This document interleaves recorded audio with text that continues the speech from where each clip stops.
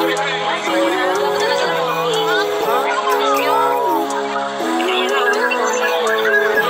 life, every day, late at night, not okay All I want, and I pray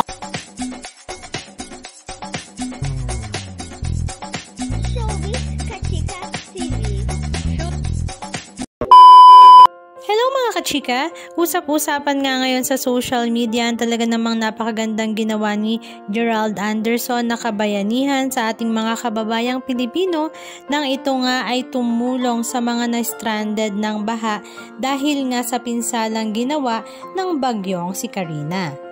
Halos ilang araw ngang namalagi ang bagyong si Karina dito sa Pilipinas kaya naman ang tubig baha ay naging lagpas tao na nga sa iba't ibang lugar dito sa Maynila, maging sa Quezon City, Marikina at napakarami pang lugar. Kaya naman ang lahat ay hindi nakapaghanda at nabigla sa sitwasyong ito. Marami nga ang na-stranded sa iba't ibang lugar kaya naman isa nga si Gerald Anderson na tumulong na i-rescue ang ilan sa ating mga kababayang Pilipino na nangangailangan nga ng tulong lalong-lalo na nga sa mga bata at mga matatanda na na-stranded nga sa kanilang mga bahay na walang pagkain at walang kuryente.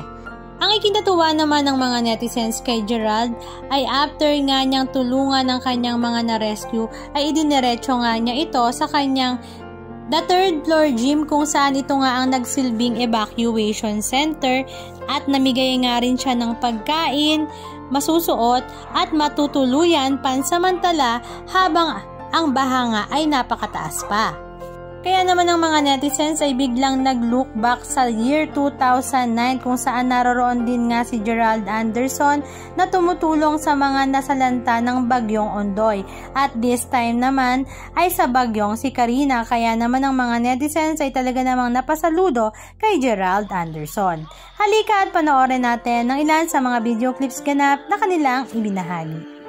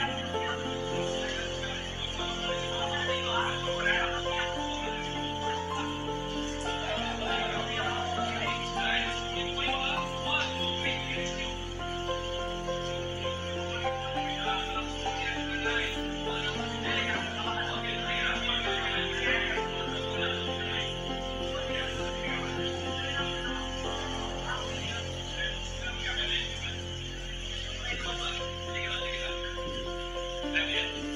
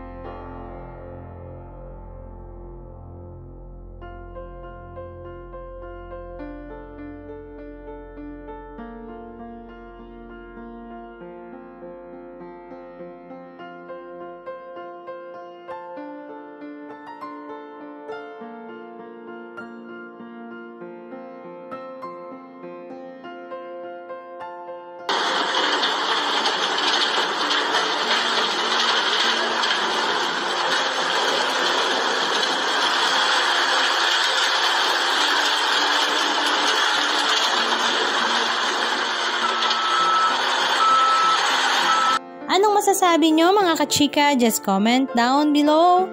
And please don't forget to subscribe. Thank you!